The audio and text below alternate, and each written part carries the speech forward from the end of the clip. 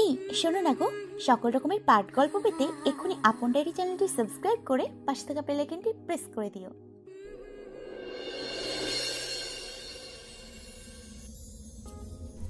লজ্জায় পদ্মজার রগে রগে কাঁপন ধরে। এত লজ্জাহীন মানুষ কি করে হয়?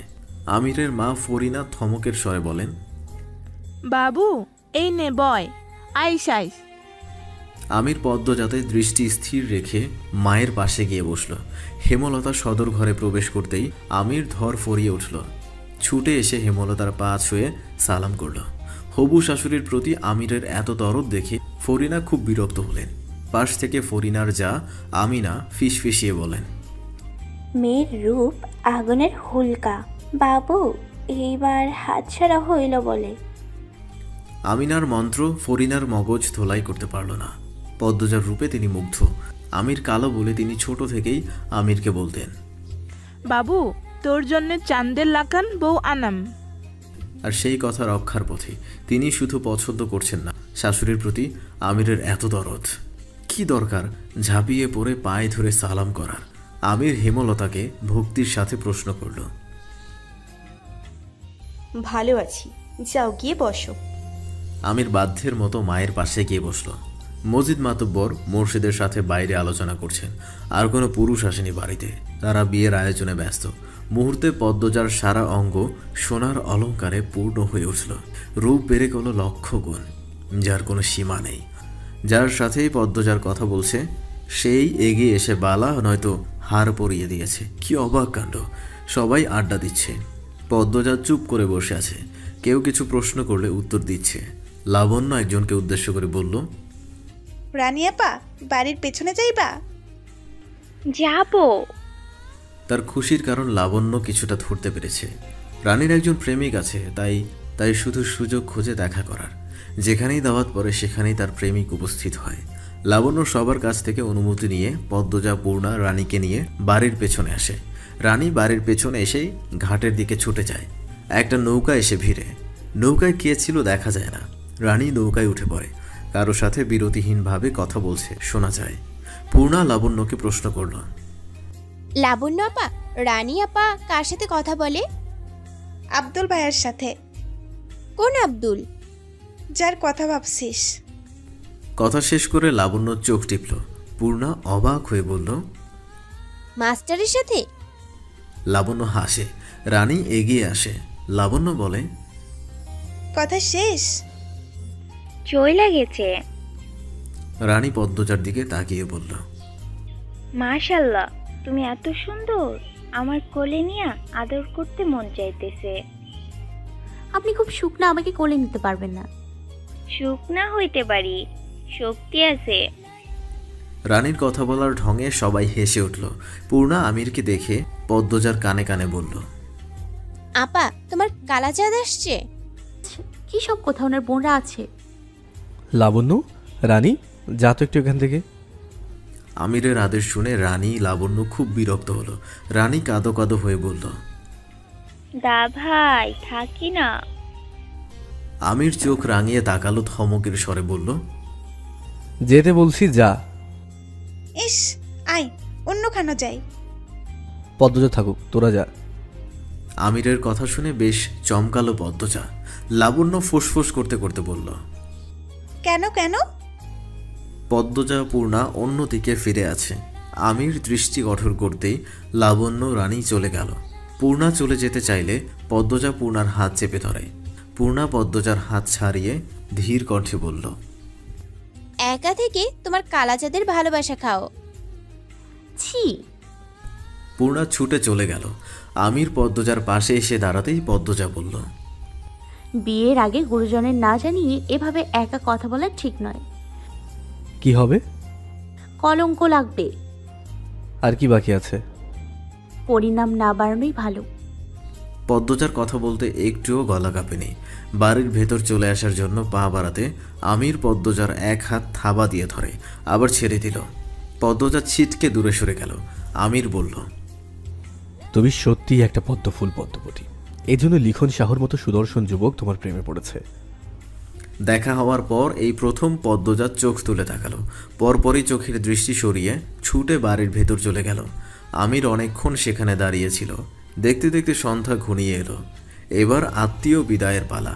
যাওয়ার পূর্বে লাবণ্য একটা কাগজ পদ্মজার হাতে গুজে দিয়ে বলল দা ভাই দিচ্ছে ঘুমাবার আগে পদ্মজা কাপা হাতে কাগজটির ভাঁজটি খুলল। কাগজটিতে যত্ন করে লেখা সারা অঙ্গ কলমকে ঝলসে যাক। তুই বন্ধু শুধু আমার থাক।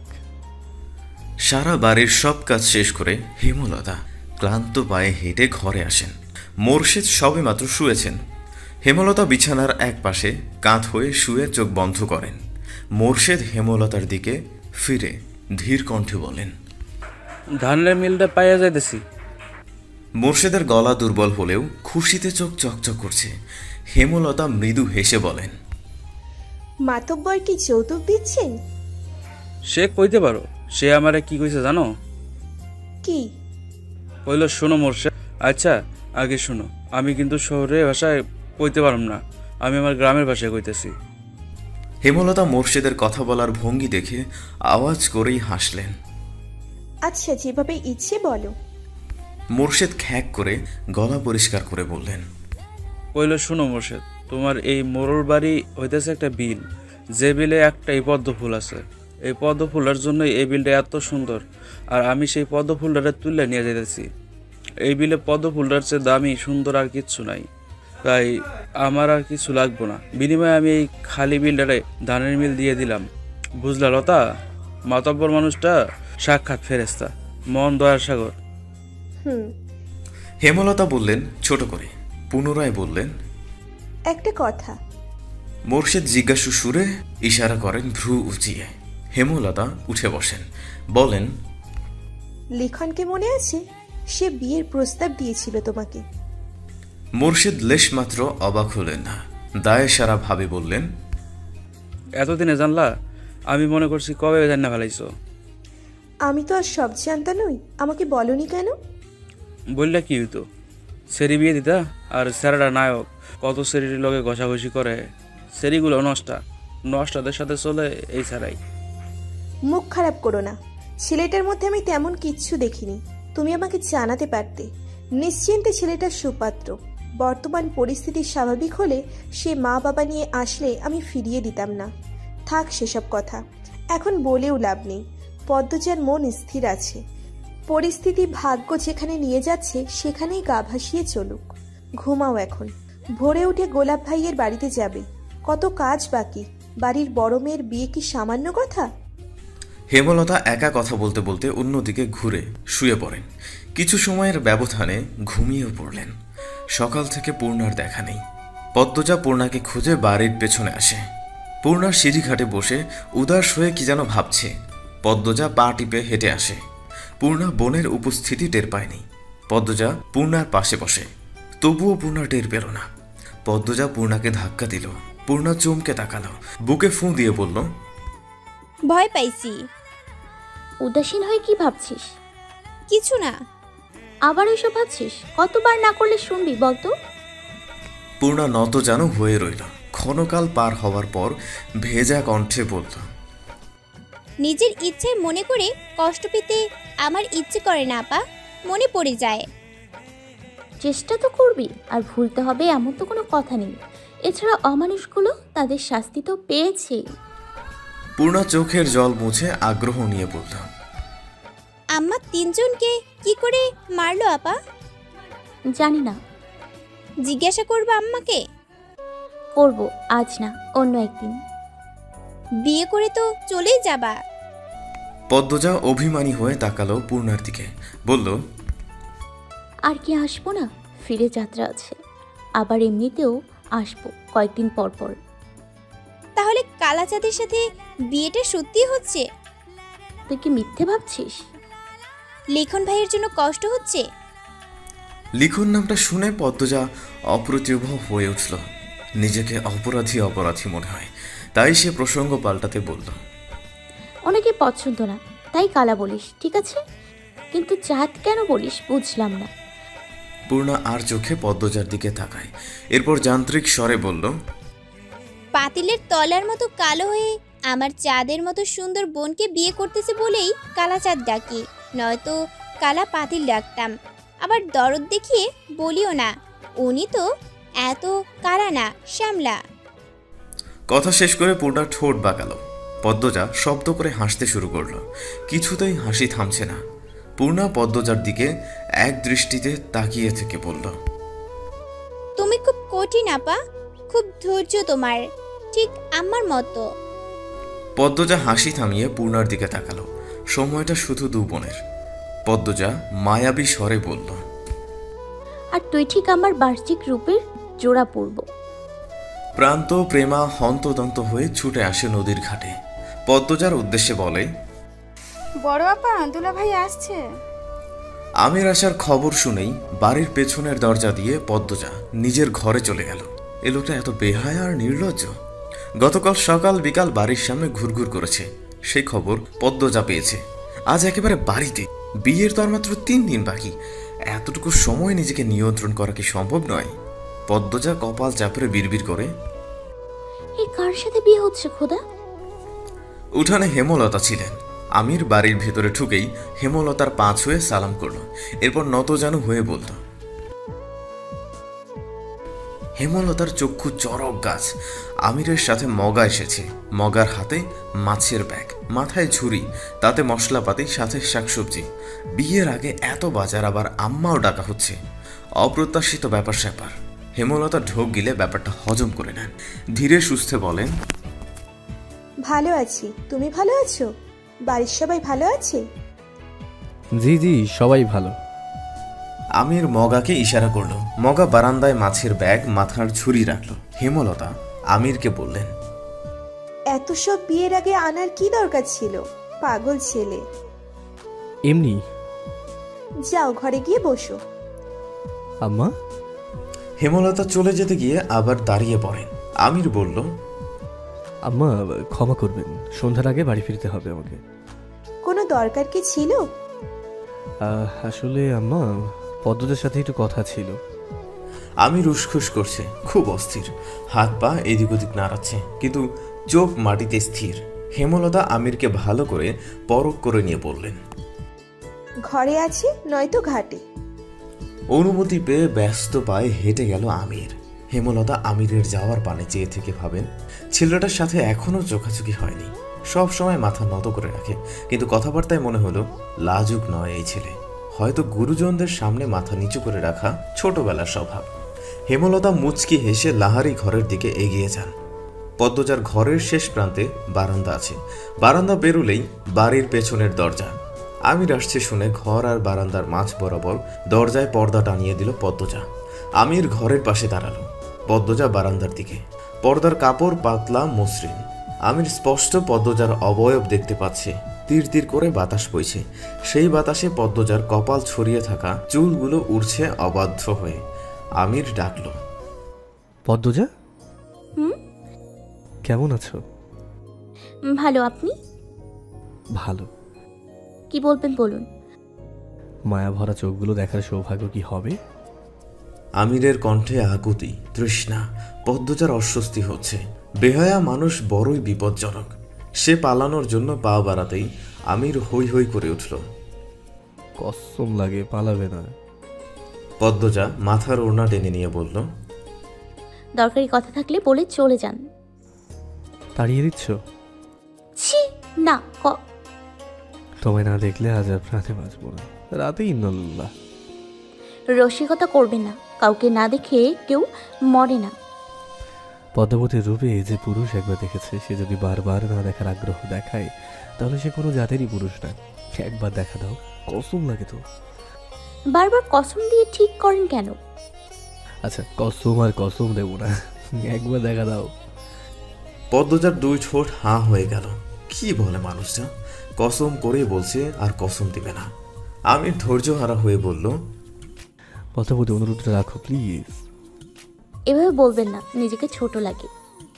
পদ্মা সরাবো? পদ্মজা ঘামছে বাতাসে অস্বস্তি নিঃশ্বাসে অস্বস্তি তবুও সায় দিল। আমির পর্দা সরিয়ে খুব কাছে পদ্মজাকে দেখতে পেল কালো রঙের সালোয়ার কামিজ পরা পদ্মবতী কপাল অবধি টেনে রাখা ঘুমটা।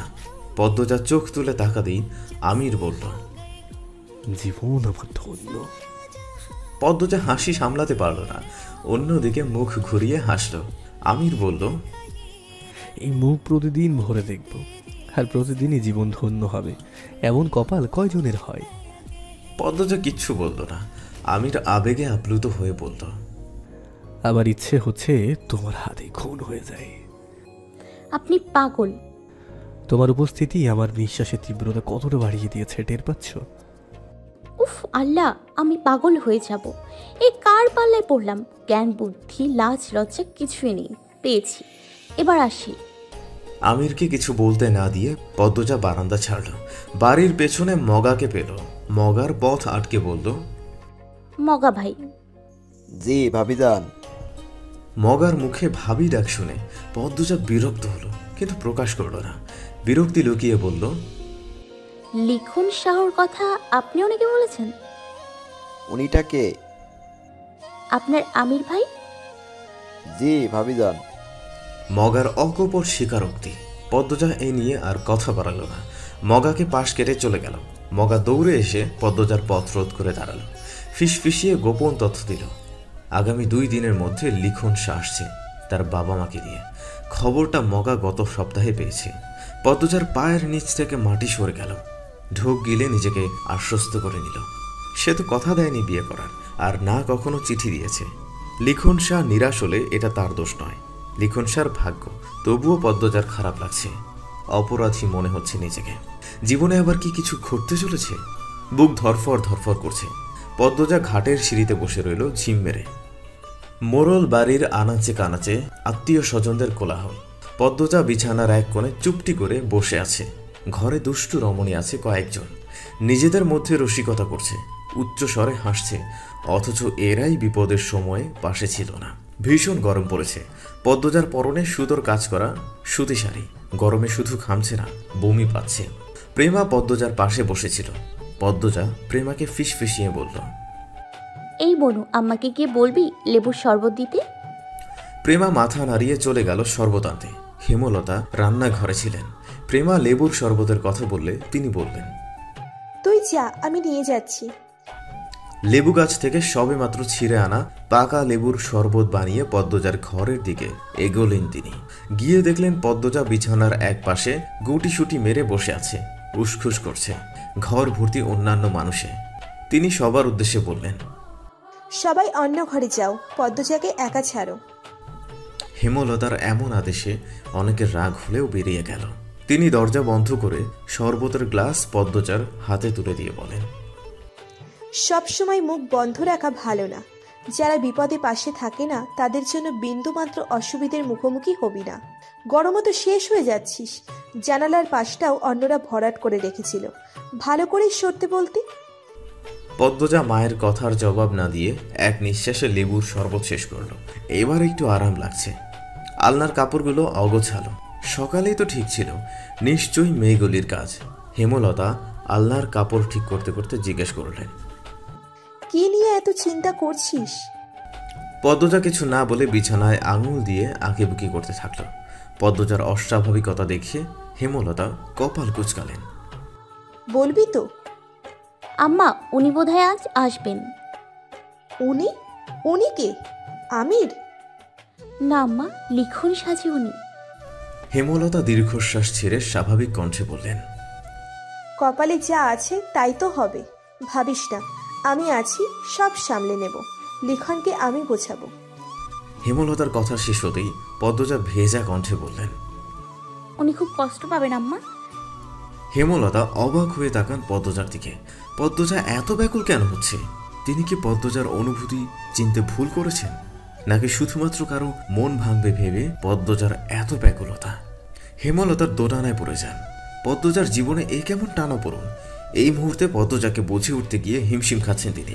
ওদিকে হানি ডাকছে, হেমলতার বড় বোন হানি। গতকাল ঢাকা থেকে গ্রামে এসেছে। ছেলে মেয়ে নিয়ে এসেছে। হেমলতা দরজার দিকে পা বাড়ান। তার আগে বলে গেলেন, আমায় নোংরা অতীত শোনাবো আজ, বাকি সিদ্ধান্ত তোর। যা চাইবি তাই হবে। মনে রাখিস যা চাইবি তাই পাবি। পদ্মজা কিছু বলার আগে হেমলতা চলে গেলেন। পদ্মজার বুকের ভেতর অপ্রতিরোধ তুফান শুরু হয়। মায়ের অতীত জানার জন্য কত অপেক্ষা করেছে সে। আজ যখন সেই সুযোগ এলো, তার ভয় হচ্ছে খুব। কেন হচ্ছে জানে না, কিন্তু হচ্ছে। হাত পায়ের রগে রগে শিরশির অনুভূতি। ভ্যান গাড়িতে চড়ে অলন্দপুরের আটপাড়ায় ঢুকল লিখন শাহ। সাথে বাবা, মা এবং বোন। বাবা শব্দর আলী, মা ফাতিমা বেগম। বোন লিলি। শব্দর আলী চশমার গ্লাস দিয়ে গ্রামের ক্ষেত দেখছেন আর বারবার বলছেন এই তো আমার দেশ এই তো আমার বাংলাদেশ। ফাতিমা ভীষণ বিরক্ত ভ্যানে চড়ে। ওনার ইচ্ছে ছিল কোনো মন্ত্রীর মেয়েকে ঘরের বউ করে আনবেন। আর ছেলের নাকি মেয়ে পছন্দ হয়েছে গ্রামে। ছেলের জেদের কাছে হেরে আসতেই হলো। লিখনের পরনে ছাই রঙা শার্ট চোখে সানগ্লাস উত্তেজনায় তার হাত পা কাঁপছে রীতিমতো। এমন একটা দিন নেই যেদিন পদ্মজার কথা ভেবে শুরু হয়নি। এমন একটা রাত নেই যে রাতে পদ্মজাকে নিয়ে স্বপ্ন দেখা হয়নি। মাঝের সময়ের ব্যবধানে পদ্মজাকে খুব বেশি ভালোবেসে ফেলেছে সে। স্বপ্নে কোমরে আঁচল গুজে ঘরের কাজ করা পদ্মজাকে দেখতে পায়। কখনো বা অপরূপ সুন্দরী পদ্মজাকে ঘুমের ঘোরে ঠিক বিছানার পাশে শাড়ি পরা অবস্থায় দেখতে পায়। কল্পনার পদ্মজাকে নিয়ে সে সংসার পেতেছে। এবার হয়তো সত্যি হতে চলেছে। লিখন আন মনে হেসে উঠল। মনে পড়ে যায় পদ্মজাকে প্রথম দেখার কথা। সঙ্গে সঙ্গে বুকের মধ্যে অদ্ভুত ঝড় শুরু হয়। কি মায়াবী, কি স্নিগ্ধ একটা মুখ। তার চেয়েও সুন্দর পদ্মজার ভয় পাওয়া, লজ্জায় পালানোর চেষ্টা। পরপুরুষের ভয়ে আতঙ্কে থাকা। লিখন আওয়াজ করে হেসে উঠল, ফাতিমা, শব্দর অবাক হয়ে তাকালেন। লিলির এসবে খেয়াল নেই। সে আকাশের দিকে তাকিয়ে কি যেন ভাবছে? লিখন মা বাবাকে এভাবে থাকতে দেখে খুব খুব করে কাশল। এরপর বলল সুন্দর না গ্রামটা? বুঝেছে আব্বু এই গ্রামটাই এত সুন্দর যে আবার আরেকটা সিনেমার জন্য আসতে হবে আগামী বছর। সে ঠিক বলেছিস মন জুড়িয়ে যাচ্ছে দেখে। চারদিকে গাছপালা নদী রাস্তাঘাটও খুব সুন্দর। এখানে একটা বাড়ি বানালে কেমন হয়? লিখন গোপনে দীর্ঘশ্বাস লুকালো। তার বাবা যখন যেখানে যায় সেখানেই বাড়ি বানানোর স্বপ্ন দেখেন। কিন্তু বানানো আর হয়ে ওঠে না। তা আমরা উঠছি কার বাড়ি? তোর পছন্দ করা মেয়ের বাড়ি নাকি অন্য কোথাও? মায়ের চোখে মুখে বিরক্তি দেখে লিখনের হাসি পেল। বলল তোমাকে রাগলে এত ভালো লাগে আম্মু? ফাতিমা আর চোখে ছেলের দিকে তাকান। প্রশংসা শুনতে তিনি বেশ পছন্দ করেন। লিখনের মুখে প্রশংসা শুনে একটু নিভলেন। হয়েছে? আর কতক্ষণ? পাঁচ মিনিট। অলন্দপুরের মাতব্বর বড় মনের মানুষ। আমাকে নিজের সন্তানের দৃষ্টিতে দেখেন। যতদিন ছিলাম প্রতিদিন খোঁজ নিয়েছেন। নিজের একজন লোককে আমার সহায়ক হিসেবেও দিয়েছিলেন। ওনার বাড়িতেই উঠব। অন্যের বাড়িতে উঠবো? উফ! মারব ধরে। অন্যের বাড়ি তোর কাছে? আমার কাছে না। মজিদ চাচার বউ ফারিনা চাচি এত ভালো রাঁধেন। আমাকে নিজের হাতে খাইয়ে দিয়েছেন। ওনার একটাই ছেলে। ঢাকায় পড়েছেন, ব্যবসা সামলাচ্ছে। তার সাথে অবশ্য সাক্ষাৎ হয়নি, কিন্তু ফারিনা চাচি সারাক্ষণ ছেলে ছেলে করতেন। আমাকে পেয়ে ছেলের সব ভালোবাসা ঢেলে দিয়েছিলেন। তাই ওই বাড়ি আমার কাছে আপন না লাগুক, বড় লাগে না, আর বিশাল বাড়ি। ওনারা বিব্রতবোধ হবেন না ওনারা বিব্রতবোধ হবেন না, তিন চার দিনে তো ব্যাপার। লিখনের এত বড় বক্তব্যের পাছে কেউ কিছু বলার মতো পেল না। হাওলাদার বাড়ির সামনে এসে ভ্যান থামে। বাড়ির চারপাশ সাজানো দেখে লিখন বেশ অবাক। লিলি চারপাশ দেখতে দেখতে বলল দাদা ভাই তুমি বিয়ে করতে এসেছ?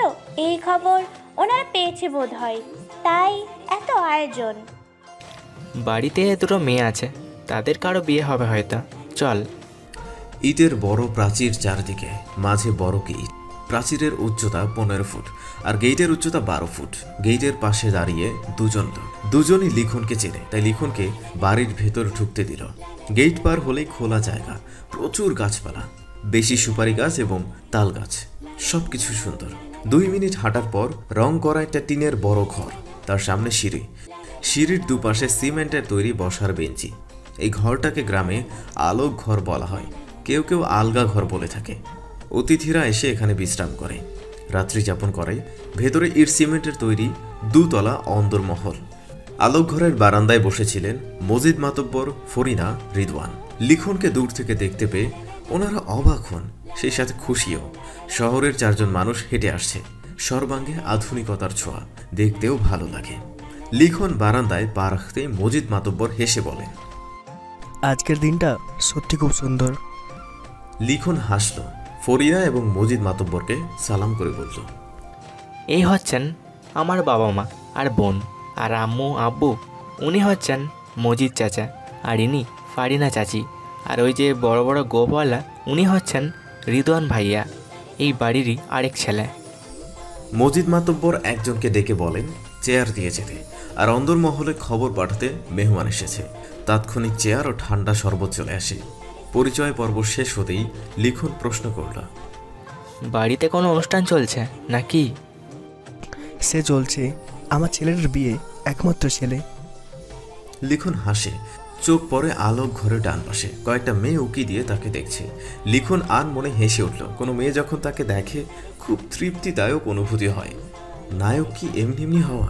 শব্দর আলী জিজ্ঞেস করলেন তাই নাকি? তাহলে তো ঠিক সময় এসেছি।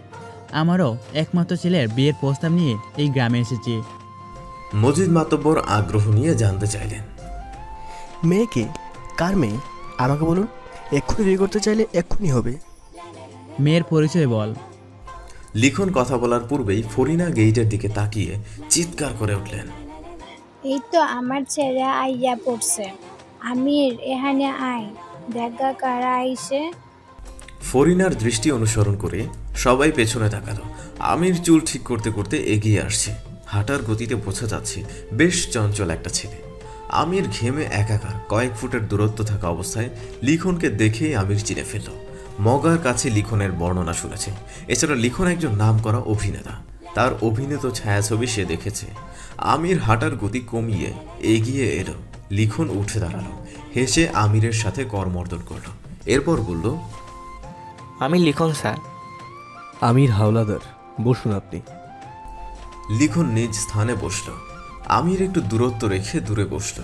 মজিদ মাতব্বর আমিরকে লক্ষ্য করে বললেন কোথায় থাকিস সারাদিন?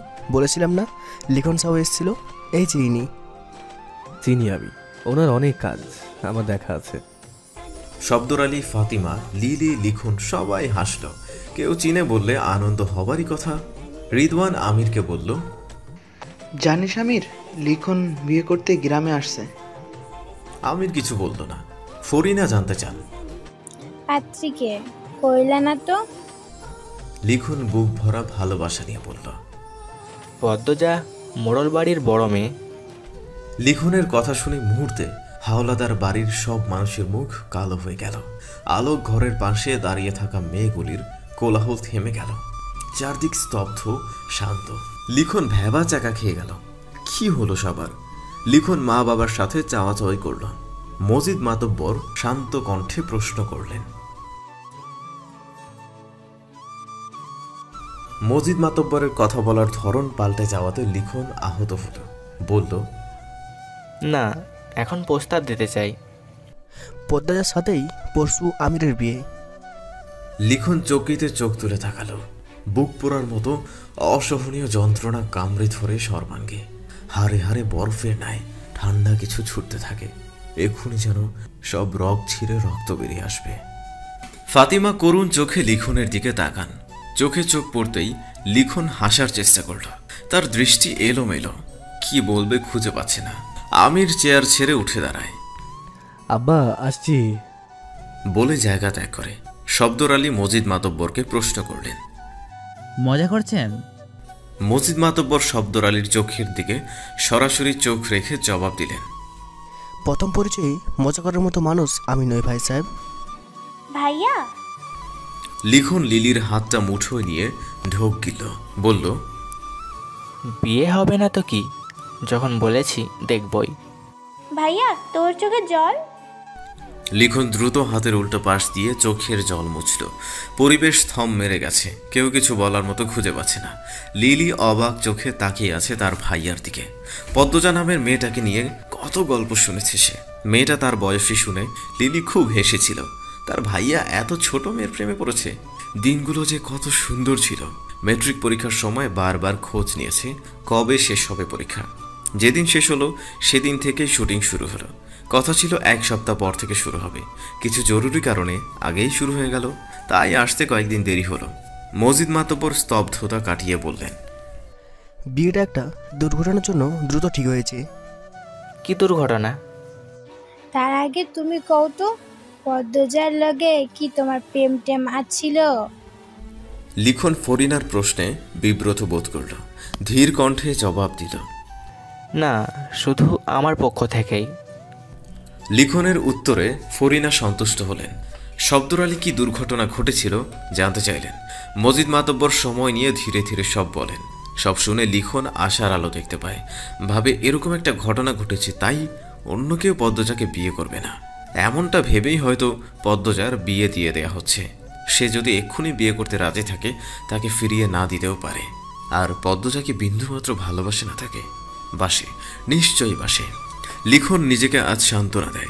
শব্দর আলী আফসোস নিয়ে বললেন। কি আর করার? পরিস্থিতি হাতের বাইরে।